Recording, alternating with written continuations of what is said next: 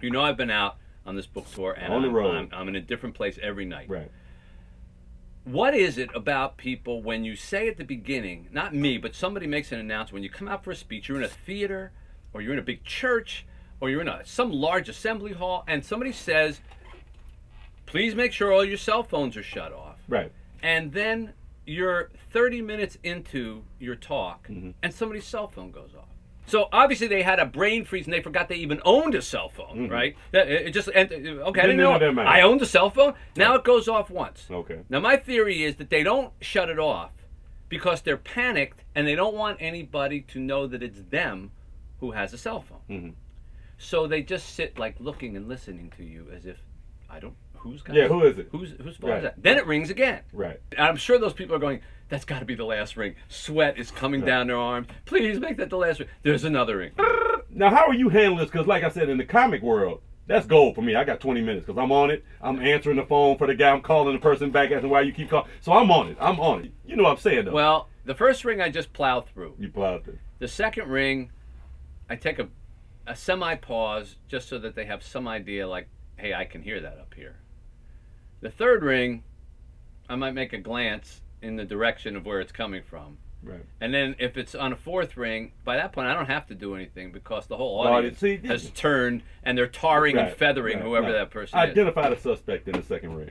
Identify. Really? Identify. How do you do it in comedy? What do you do? As soon as I go, because in comedy, people are drinking, so they're pointing them out. It's this idiot right there. I say, sir, give me the phone. Give me the phone. I take the phone and it rings again. I answer. Hello.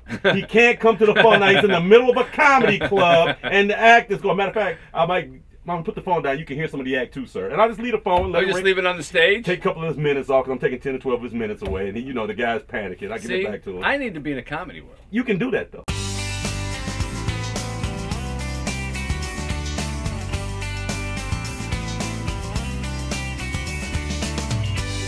So we're in Deerfield Beach, Florida, at a restaurant called JB's on the Beach. And there's no truth to the rumor that I only agreed to do this interview because I get to wear shorts in November. And seeing as I live in Detroit, that is a very rare occurrence. But I would have been here even in long pants because Dave Barry and Ridley Pearson are here. Dave Barry is extraordinarily funny humor writer in his normal job, and Ridley Pearson, an extraordinarily talented thriller writer in his normal job. But they've collaborated to create a series of Peter Pan books for kids that actually tell the story of Peter Pan before he became the Peter Pan that we know. And to find out about that and a little musical thing that we happen to share together, we came down here for a little conversation.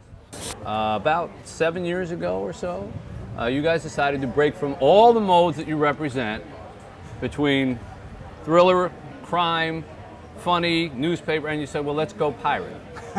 let's go pirate. Pirate up. Let's go pirate. And then right after that, Johnny Depp. You know what I mean? That's the kind of trend-setting dudes. And I, there's no coincidence in that either. I don't think he so. stole your stuff. He stole it. You know. Ah. We got pirate. Sure. I have to remember to put it on, on this side because I don't, you know, I it's only, you can't it's actually only- see. and, if, and if I have to read anything, I have to put it on my. You need help. Your- pirate reading one- we, I think this is why there just aren't that You know, the many. bifocals were invented just after the iPad. I, don't- I think the reason there are so few pirates left is just really. It's the they're iPad. They were banging just- into stuff, falling off. It's like an accident waiting to happen. An eye patch, man. That and the they walked Penguin. off their own planks, They're- yeah, actually. they had no depth perception. They're always banging into the shore. You know. in truth, when Dave and Ridley go out to uh, bookstores and the kids are there, you actually do dress. You have to Oh, dress yeah. up, which is a whole step beyond what authors normally have to do. As if it's not hard enough to go to a bookstore. It's a. Disney operation. This is one of the You big changes we, we found with writing books for kids is that the audience involvement level is way, Way up. higher. Instead of just Yeah. sitting there letting you tell them, they're like right, on your, your face. Well, why why does the crocodile not go into the cave? What do You they know? eat when they're on the island? like, how old is the porpoise? And they're like, I, whoa! I don't know. It really wasn't relevant to the plot how old the porpoise is, but they want to They know. don't even know what a plot is. They so why are you really- bringing it Well, up? then you can give them any answer. Dave says the porpoise, 12 years old. Yeah, And they no, go, oh, okay. yeah, okay. Yeah, I don't Like, that for makes Then they total write that down. Yeah. Yeah. And then a year from now, you'll be getting a letter saying, "Is the porpoise 13?" Yeah, exactly. Peter and the Sword of Mercy is number four in this Trilogy. It's in the trilogy, in the slow walk up to where the most familiar Peter Pan story begins. Yeah. Now, I should explain to the, to the audience that this actually came from Yeah, your came from- children. it came right? from That's where the idea. my eldest came. daughter, who, when reading Peter Pan to her one night, asked how Peter had met Captain Hook in the first place. And you know, as writers, we're always looking for ideas. And it occurred to me that we don't know how he can fly. We don't know why he never grows old. We don't know where the little personal assistant comes from. There were all these unanswered questions in the great classic. Maybe there was a whole book that leads a boy up to becoming Peter Pan. We thought we'd write a little 90-page Right. explanation of this, you know. Now- I, I can remember we, we Literally. were, we were No. staying in my house because the, the band was playing, the band that you're a member of, and um, I remember at the time we thought, well, that'll take a couple months, and we, you know, knock this thing Yeah, off, and done a little little side project. Ten copies, you know. you know, five years Now, later. so wait, this happened when the band was all together Yeah, and yeah. the yeah, kids. the band was playing in Miami. We, I came you were down, staying over I at was Dave's down house. at Dave's maybe a week later, and he said, "What are you up to?" And I mentioned this thing the page. I said, "You know, this idea came of a prequel for Peter Pan," and his eyes kind of twinkled. And you know, in the band, we don't talk business. I mean, it's just No. we're not what we do. Too busy going. What was And- that chord? Right. Fare thee well. I know you're leaving. Sing it, Dave. And it just occurred to me, I mean, he's wickedly funny, he's childish.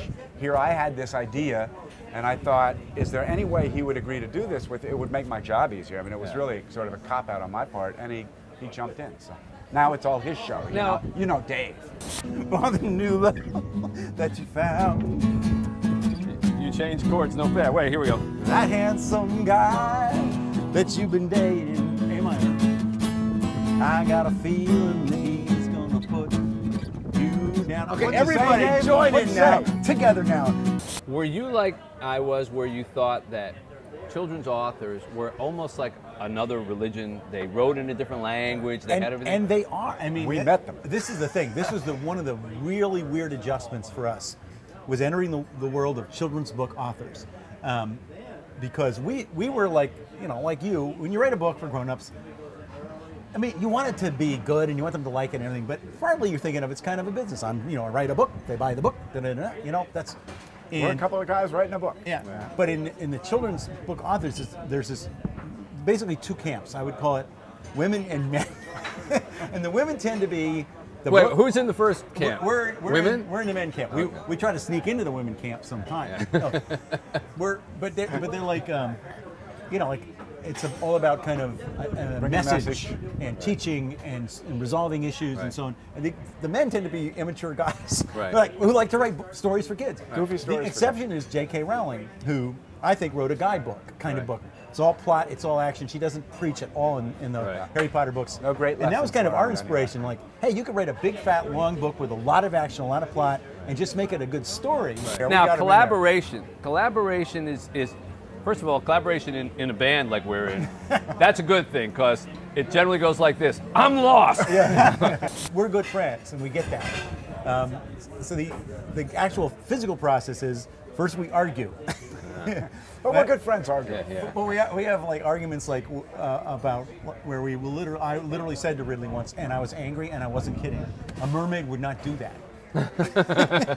Dead serious. Because I know the two of you, and Yeah. if I before you had done this book, while I know you're good friends, I would not have picked your work habits Yeah. to be the same. Because Dave comes out of the newspaper world that I'm familiar with, It's where like- it's, oh, I got five minutes, bang, bang, bang, bang, bang, bang, and I've been to your house and your office, and, and really when he starts getting ideas, three by five cards start going up with tacks in them, saying first the killer will unzip his jacket, then the gun will come out. No, maybe he'll unzip And first, then, and but first he goes to the zipper factory and learns right, what kind of zipper. zipper. has stopped me from doing But that's a, so that's okay. That's a great approach for a really in-depth. You Yeah, know, he's into uh, research thriller. and organization, and, and and I am not. A year ago, my daughter she goes to, uh, to school in Miami, and and it's a, she's in elementary school.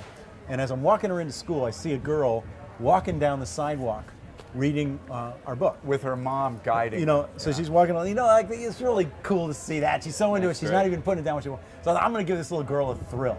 You know, it's like I go up to her and her mom recognized me. Wave and I, I tap her on the shoulder and she looks up and I go, "I'm one of the guys who wrote that book." And she goes, "Oh."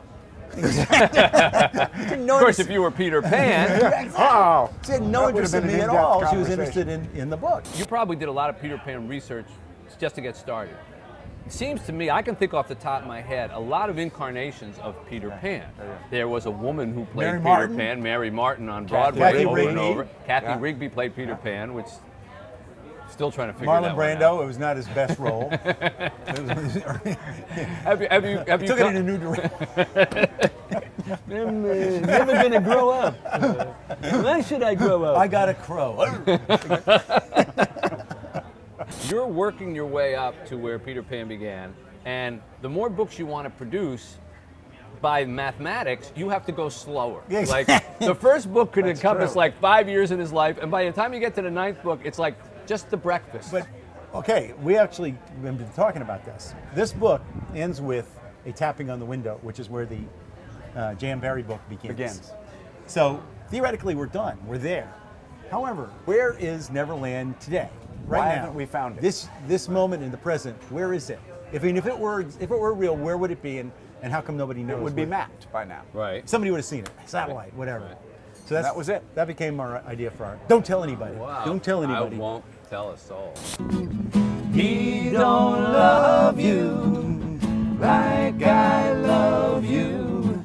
He's trying to tear us apart. How about that? And the crowd goes wild. Wow! Look at him! Look at him! Thank you. We're here all week. I said to Dave, there's the whole shadow thing. And he said, Ridley, that's two sentences. You It's know, actually the turned out to be shadow two thing. books. And it turned into two 500 page books. So we Wow. keep thinking we're done. You guys are milking a uh, lot out of little things. But we don't The mean thing to, it's you know? become this whole world. I, like I describe, I compare it to like a I mean, the crocodile's got to be worth six books in and of himself. Well, he has his own agent. now. we can't, you know, we can't get him on the phone. it's like you were nothing. Like your career was dead in the water. Those two fans there Yeah. that are face down. Thank you. Thank you. Thank you. That's Thank you. kind of a typical crowd. you go. Yeah, us. There you, there you go. Yeah. Let's That- go down Saturday. yeah, yeah. I, I, I think we actually put them Yeah. to sleep. I would, notice that I would hate to wake them While up. While we were singing, the, the ocean actually receded, even though the tide is supposed to be coming in. Peter Pan, the whole concept of it, a boy who doesn't grow up flies to a major city in the in the world, Right.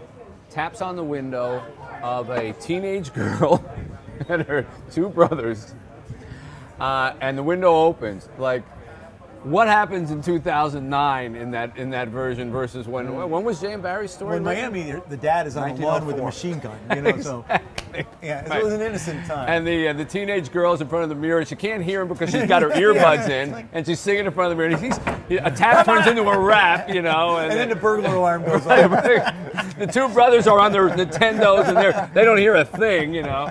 And, and, And they don't smell another book. yeah, but we do have this band, the Rock Bottom Remainders, going, getting close to 20 years Getting up there. eventually. Yep. Uh, which uh, all three of us are a part of, and we've become friendly as a result of. And I do have to say, um, it ha- it is a bit of a like a club that we don't ever feel like it's some kind of special club to be in because we basically it's a total open door policy. The mistake a lot of authors make is they'll say, "I really want to be in the band. I'm really good at, you know, whatever." And we go, You're out. You're out. Excuse me, have you ever heard our Right. band? Now your band in high school, There's- uh, My band was called the Federal Duck. Federal Duck, Mine My- was Big Lost. Big Lost. They were more country. Mine, mine was the Lucky Tiger Grease Stick Band. Nice. And That we was like kind a of marching hair. band. that was a hair gel thing that you put on, and, and then your hair wouldn't move in a hurricane. Not at all. You Yeah, yeah. know? And we played 50s music, which is how I learned every single 50s song. And, and I will came confirm that you know every you know everyone. every word and every chord, every song ever recorded in the 50s. That's right. including not just the 1950s, the 1850s, and 1750s, Any 50s. any 50s. Uh, Dave found me in Norway It's correct. Um, under a pile of snow. no, we were, we were at I was looking for a lap dog. Mitch and I were both writing columns about the, the Norway Olympics. Right. And one night, we were both working late, we went down to the uh, reporter's lounge downstairs, and there was a piano. And Mitch goes, "I play piano." He sits down, and we immediately discovered we both like to play, old, sing old songs. So we, it was started out with just me and Mitch, just you know, pl- play. And before we knew it, there must have been 50 Norwegians, the whole staff, because we were the most soulful two guys in, in Norway, which we still hold that title. The most soul music ever heard in, Nor- one night in Yeah, Norway. and we, we You sang, it in we taught them how to Yeah, sing. and, uh, was na na na na na na na na na na na na na na na na na na. Hey, hey, don't change chords. Na na na na na na na na na na Norwegians jumped in. Norwegians! sounded like. No, no, no. No, no, no, no. And then a polar bear showed up. Little surfer girl, I have watched you on the shore, standing by the ocean's floor. that is no such chord. What the hell? What is that? Like people. That is a C minor, my friend. Oh, I can do a C minor. That's a C minor. We've just discovered a new chord. It's not a C minor. F9. That's not a C minor? No, That's an F9. this is a C minor. Right Oh, wait. there it is. There's That's a C minor. That's a C minor. Do you That's exactly. That's how they do. You Just as the Beach Boys do. I always wanted to play sort of near a beach. In the '60s, there were an awful lot of bands playing on beaches. You know, now that And I, never With made nothing plugged in. Wait, nothing I plugged in. say, there was never and, and everybody was came dancing. out. Everyone was All the girls were in those That's kind right. of large bikinis. Yeah. Sad thing is, best we've ever done it. That's the end to uh, Mixing completely, completely different song. Here we come, walking down the street. We get the funniest looks from everyone we meet. Hey, hey, we're the Monkees, and people say we monkey around. But we're too busy singing to put anybody down. We go wherever we want to, do what we like to do.